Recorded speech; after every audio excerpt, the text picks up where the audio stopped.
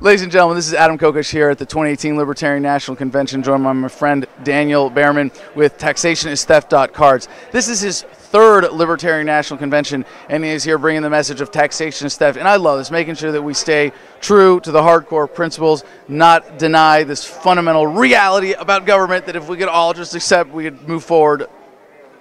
Uh, I, I don't know why people even can object to this, but I will give you a chance to talk about that. Daniel, really excited to have you here. Uh, what is the purpose of taxation is theft cards? So really, it's uh, it's twofold. There's a merchandising thing, but then there's it's really informational. But so it's fun for people who are already into taxation is theft. They like to get the T-shirts and stickers and everything, but it's really more informational. So we're trying to take the approach where we're trying to actually inform people and reach out to people who don't believe that taxation is theft in a way that we can actually convince them to realize it is because that's kind of a struggle. We we in the Libertarian Party, a lot of libertarians even hate the statement because they think it drives away people that are not going to agree with that message.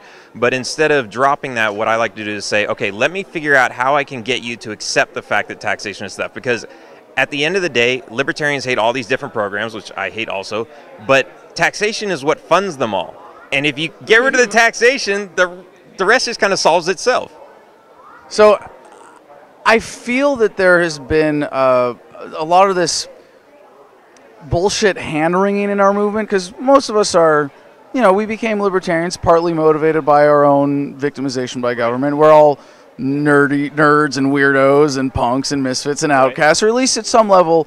Uh, intellectually of that nature, or victims of the state in some way.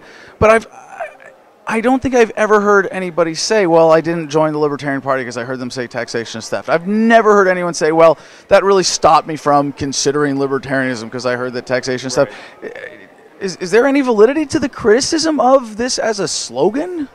I, I think what they're concerned about is not that hearing taxation is theft is going to drive people, well, um, let, let me take about let me take. No, there's no validity to people criticizing this message whatsoever. Frankly, it's bullshit. I'll just say it for him because yeah. he's too damn humble.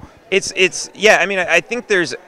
I think there is validity to it if somebody says taxation is theft, but they don't know how to explain it to somebody that they're trying to bring into the party. So then somebody's just like, "Well, you're you're not explaining it properly. I don't get it," okay, okay. and then they run away. Taxation is theft is a problem when people use it as a crutch. Yes. If I just want to get in your face and say taxation is theft, taxation is theft, and you're wrong for being a statist, then screw you because I don't have anything better. But if I can say taxation is theft because self ownership and the non aggression principle, peace, love, and, and harmony, and that's what's really behind libertarianism, right? That's a great gateway. Exactly. And there was, there was a gentleman I sold it to this morning where he was, he was uh, you know, he said, well, taxation is theft, but without taxation, how are we going to pay for that? And I, and I almost cut him off and said roads, but he said things. So, but um, more roads. Yeah, but so so um, basically, what I told to him is, okay, you you pay all this money to government. Ninety five percent of it goes to absolute waste, and the few things that you do want out of it, wouldn't you rather just take your money and say, I'm going to pay for this directly, so I know what I'm getting, and I'm getting the right thing, and I'm I can decide who's going to give it to me, so I can get it of the right quality. And that is like you know, so I might not be able to explain to him in five minutes that taxation is theft with self ownership and all these other things, but I can at least get him to see that, oh, maybe there's a better way. And taxation is theft was the conversation starter that got that going. So he was accepting of that, and we moved forward there from there, shook hands, and he was like, okay, that sounds pretty good. I'm going to look it up and, and get some more info.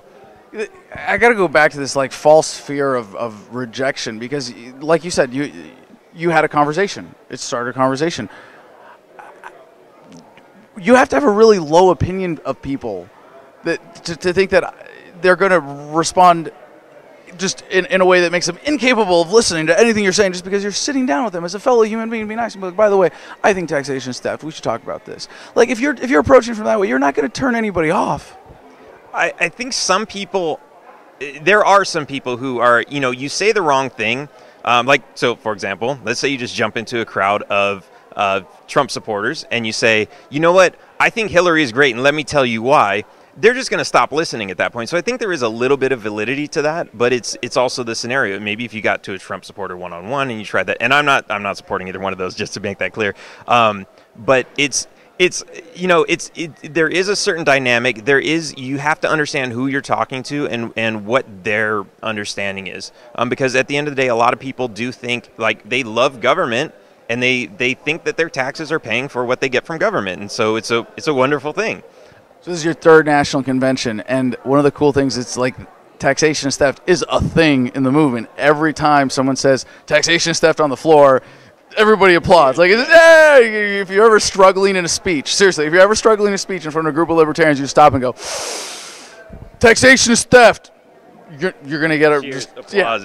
Massive applause. Yes. So, did you have fun this weekend? What, what, what do you think of the convention? What, and, and what do you think we accomplished? Um, I think so. I've got two varying opinions. So the party I think is awesome. Like I don't, I don't want to say anything bad about the party, but at the same time, I don't think you know we're going through elections and everyone's saying, okay, who's who's going to be chair, who's going to be vice chair, and who's going to represent my voice the best. What I like to kind of say is, look, there's not a single person in this entire room that I would say has my exact voice on every single topic combined. So I don't think there is going to be my voice. Like the, the party itself is not going to completely represent my voice, which is why I started my organization, Taxation is Theft.